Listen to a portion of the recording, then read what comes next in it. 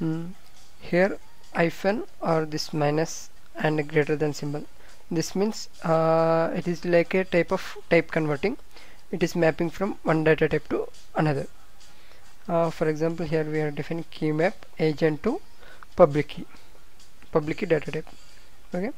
And uh, another one is equal to pipe greater than. This is a single symbol and it is like immediate transition. Uh, it is like a okay here we see example. If RCV uh, if we receive some X then we are performing this send operation. Like this is the uh, it is like a then operator. If we got this then we have to perform this. Okay? And uh, this open curly brace and close curly brace it is uh, it is set at delimiter that is in knowledge declaration uh, in HLPSL we have to define some parameters of intruder knowledge. In that time we are using this curly braces. Uh, and uh, open brace close brace and underscore. It is uh, used for encryption or signature signature of the message. Uh, here for example here x is the message and we are encrypting this x message with the using key key okay here k is the key and x is the message and we are encrypting the x using k. And we are sending this message to uh, receiver. And next open parenthesis close parenthesis. It is used to indicate the argument of the function uh, send or receive statement or role. Okay uh, in uh, for example here we are uh, defining Alice parameters in this open parenthesis and close parenthesis. And another keyword is accept. Uh, accept is used in sequential composition to indicate when a role is finished and the new role can begin. Okay here we are uh, declaring accept and we are written some statements. And agent. Here in HLPSL uh, all roles are uh, users are defined by uh, data type for agents okay? Uh, for example uh, if we have Alice and Bob then Alice is an agent and Bob is also agent. And bool uh, bool is a data type for boolean values. And uh, next one channel in parenthesis dy. Uh, here dy is stands for Dolev-Yao uh, it is a uh, one type of channel. And this is a data type of channel okay? And uh, HLPSL is currently supports for Dolev-Yao channels. Okay? And composition. Composition is used to marks the beginning of composition section of a composed role uh, we are in next videos we are going to see detailed explanation of composition. Okay? Uh, for now just remember composition is a keyword. Okay? And cons. It is uh, cons is used for the add element to the set. For example this is a cons is a set. Here we are uh, cons is a uh, here we are adding x to the l using cons keyword. And uh, there is another keyword uh, that is const c-o-n-s-t that is used for the different constant variables. Okay? And another next one is def equal to uh, it is used to uh, it is like definition and it is used to indicate beginning of a body of a role. In every role we have to define some um, we have to define body that we can define with difficult. And next keyword is delete. Uh, delete here we are inserting element using cons and here we are deleting element from the set using delete element okay. Like this example. L prime equal to delete of x comma l. And next one is end role. Okay. Uh, it uh, end role is used for the declaring that this role is ended. It is indicates that role is ended. Okay. And next one is exp exp is a exponential operator prefix like this. Exp g comma x. That means it is represents g to the power of x. Okay?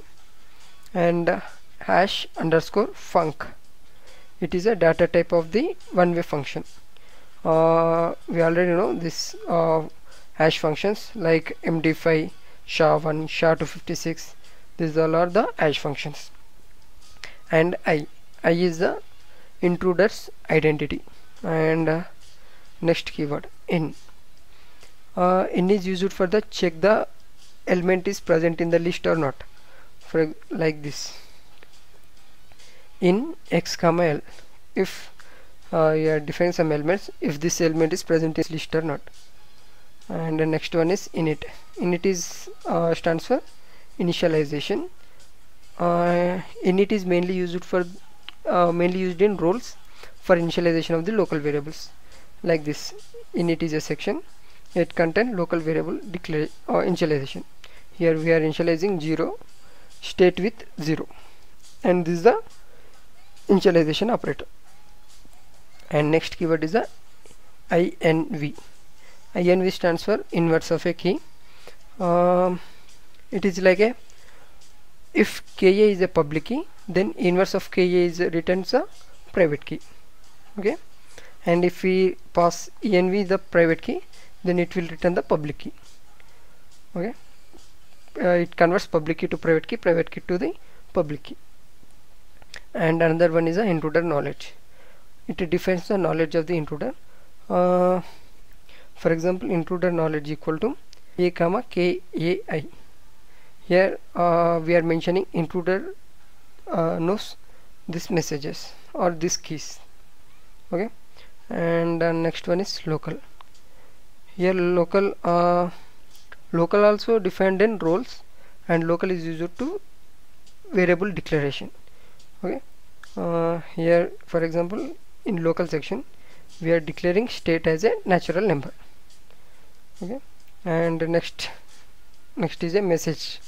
Message is also keyword and it is like a general type of message content uh, it is it is like a message any type of message. And NAT we already know NAT is a natural number. It is a data type for natural numbers. And NOT uh, it is logical negation. Like uh, it tells if element is not present in the list. This is an example not in x comma l. And next keyword is the owns owns is the uh, owns stands for the ownership of a variable if a role owns a variable only this role may change the value of the role. That means uh, for example in role Alice we return owns x. That uh, this means is only x value changed by the Alice and no one can else change this x value. It is like a uh, it is only uh, wants to the um, wants to the this role who defines this variable? And next keyword is played by. Uh, this for the basic roles. Uh, in basic uh, in basic roles we are uh, played by is like a alias type. Here uh, we define some role alice and this role is played by the a. Okay specifies which agent is playing this role?